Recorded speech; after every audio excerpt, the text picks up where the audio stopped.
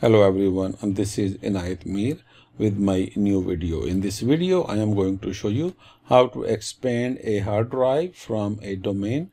This domain is a DC domain controller. The domain controller name is dev.com.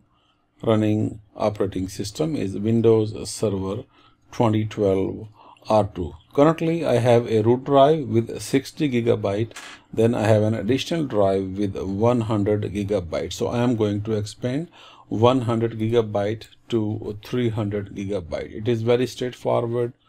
You simply can change the numbers. Make sure you have your available room whatever you are expanding into your physical hard drive. So it is taken from my physical hard drive. I turn off my workstation actually my uh, server first. Uh, then i expand it. Now i can power on my server. So that's how you do because uh, once server is on you can do that one. So i am back up and running on my server. First thing I go on local servers tab to show you my host name and also my domain. So you can see my computer name and dev.com domain. The next is Active Directory users and computers console. This console where I have created a VMware work VMware admins group. So this group uh, should contain those users which I am going to add into my ESXi 6.5 host 1 and host 2 currently I am creating my last name account only. Let's take this account as a member of domain admins for now.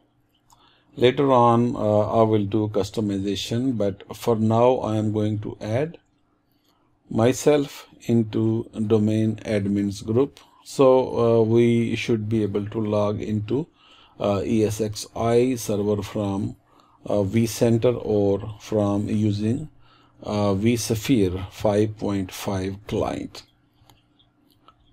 so now uh, as you see my last name is a member of domain admins and VMware workstations group.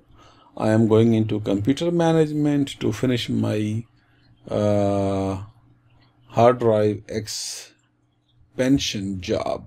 So now I have to extend my E drive from 100 to 300 gigabytes. So I'm using all available room.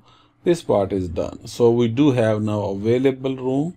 So at this time, I am on my iSCSI target window where you can scroll down to uh, tasks to create a new drive. So I'm going to make this drive under my E drive. The name is disk one. The size is 250 gigabyte.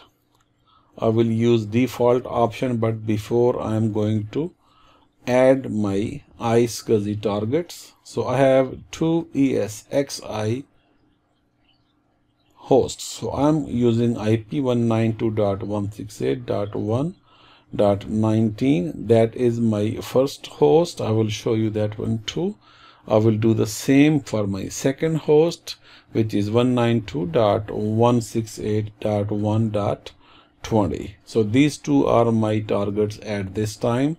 So we will uh, work on uh, SAN storage uh, section later on too, just to let you know that uh, that is how you can uh, expand your drive and then you can use that drive to create virtual drives uh, which you can later on for your own hosts that could be some windows hosts whatever target you select actually you can uh, use it. So here i am showing you my initiators. So those initiators are my two ESXi1 and ESXi2 so I showed you my IP address.